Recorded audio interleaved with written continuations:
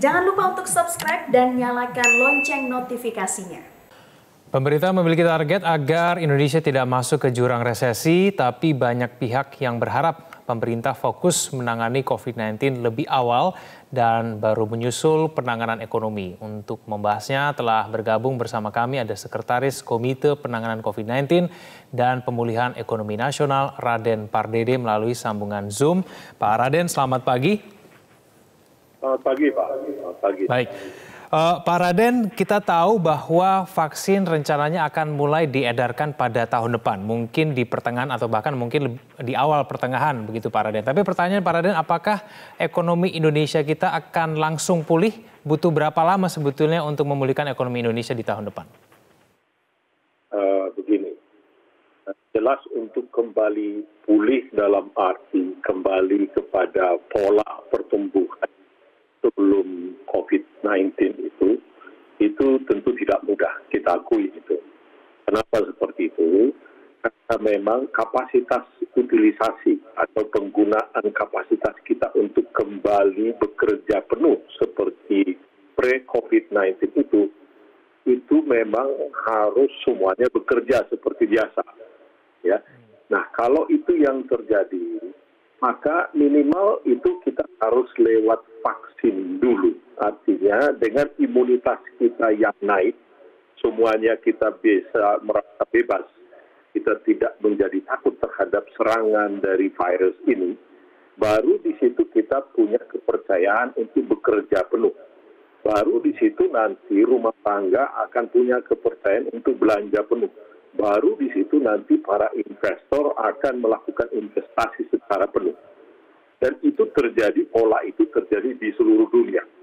Jadi seluruh dunia memang, dan tentu Indonesia juga, itu akan menunggu, tidak akan pernah kita kembali ke pre-COVID-19 sebelum rasa kepercayaan itu, sebelum vaksin itu memang terdistribusi baik sampai tahun depan. Berarti apakah artinya pemulihan ekonomi kita belum tentu akan betul-betul pulih di tahun 2021? Tahun berapa Pak Raden tepatnya? Belum tentu. Jadi ini memang pertaruhannya ini adalah semuanya bertaruh kepada vaksin. Itu yang menyebabkan terjadi semacam lomba untuk mendapatkan vaksin di seluruh dunia. Jadi sekitar 150 peneliti-peneliti yang berhasil di awal ini untuk melakukan penelitian untuk mendapatkan vaksin. Dan ini akan terus berlangsung. Jadi diharap kalau saja ini kita hanya pakai if, ya conditionality if. Kalau vaksin itu kita temukan tahun depan dan bisa terdistribusi baik, menurut saya baru tahun 2022 bahkan mungkin 2023 kita kembali ke pre-COVID-19. Situasinya begitu. Dan itu terjadi bukan hanya kita, seluruh dunia menunggu itu. Itu sebabnya faktor ketidakpastian ini, ini memang sangat tinggi. Semua mengalaminya, dan kita memang umat manusia ini boleh dikatakan untuk kembali kepada trajektori pertumbuhan yang lama itu itu semua menunggu vaksin. Vaksin menjadi salah satu faktor terpenting untuk kembali kepada trajektori pertumbuhan yang sebelum krisis ini. Baik. Pak Raden, apakah ini artinya bahwa asumsi makro oh, kita pada tahun depan pertumbuhan ekonomi kita 4,5 hingga 5,5 persen ini terlalu optimis, Pak Raden? Uh, begini, pemerintah itu membuat satu target target itu supaya kita berusaha keras. Jadi berbeda dengan proyeksi. Para ekonom atau forecaster itu dia membuat proyeksi. Pemerintah itu membuat target yang 4,5 sampai 5,5 persen. Sebagaimana Presiden sudah sebutkan di dalam pidato uh, merdeka tanggal 14 Agustus yang lalu dan juga Menteri Keuangan menyebutkan adalah bahwa kita memang harus punya target untuk mencapai pertumbuhan yang lebih. Artinya empat setengah sampai lima persen. Kita, uh, menurut saya pemerintah itu tidak dalam posisi membuat proyeksi. Hmm. kita harus membuat target supaya kita seluruh dari aparat pemerintah ini, mulai dari presiden, menteri, sampai dengan aparat ke bawahnya itu, itu bekerja keras dengan catatan, dengan pemerintah bekerja keras, maka dunia usaha, maka rumah tangga juga akan ada rasa percaya dirinya. Ya. Dan mereka akan membelanjakan dan juga berinvestasi. Itu adalah pola yang berbeda antara pemerintah dengan para ekonom. Nah, eh, syaratnya Pak Raden, kalau kita mau mencapai pertumbuhan ekonomi 4,5 hingga 5,5 persen itu seperti apa? Kalau kita pada tahun depan masih berperang melawan COVID-19?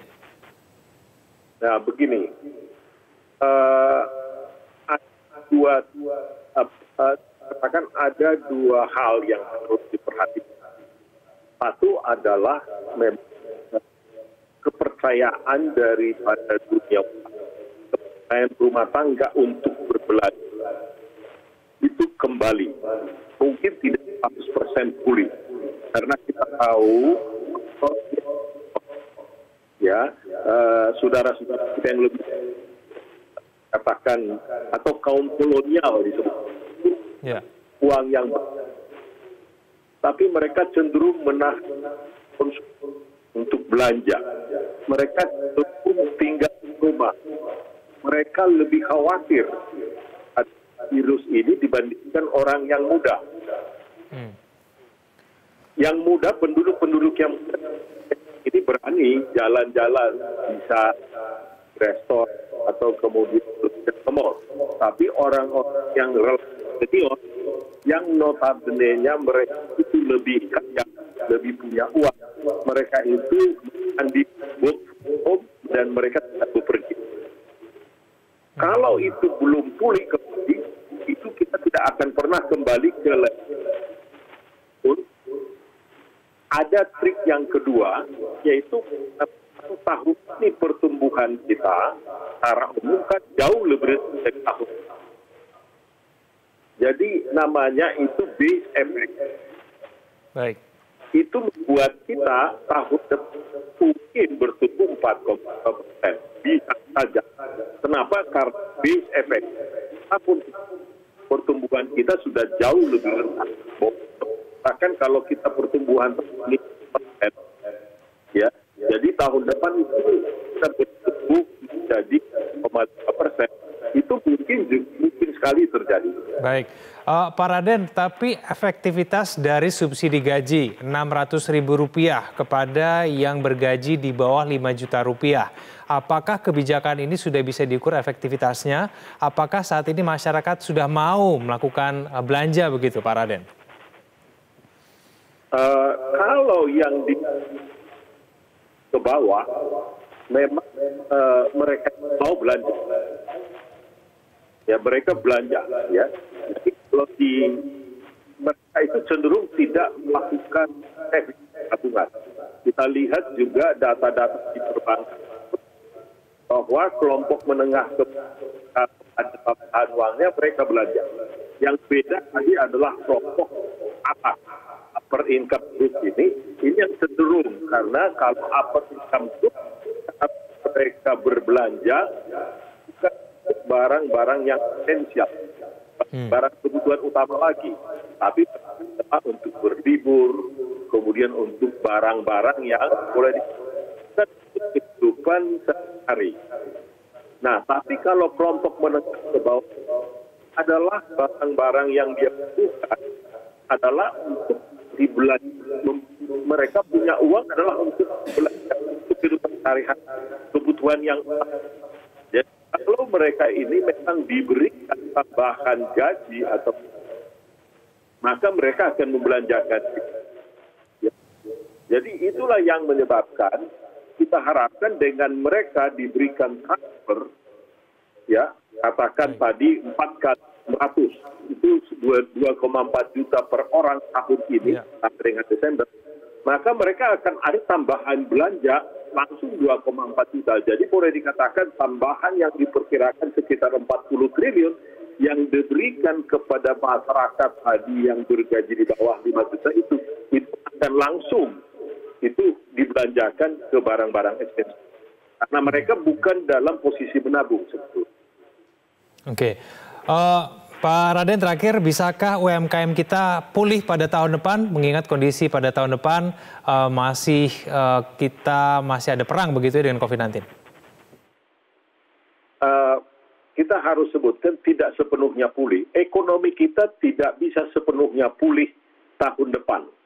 Saya katakan seperti itu saya katakan seperti itu, kalau bertumbuh 4,5 persen bisa saja. Tapi yang namanya pulih itu, kalau definisi saya yang lebih luas adalah bahwa yang semua yang sebelumnya tidak bekerja atau kehilangan pekerjaan, dia akan kembali bekerja.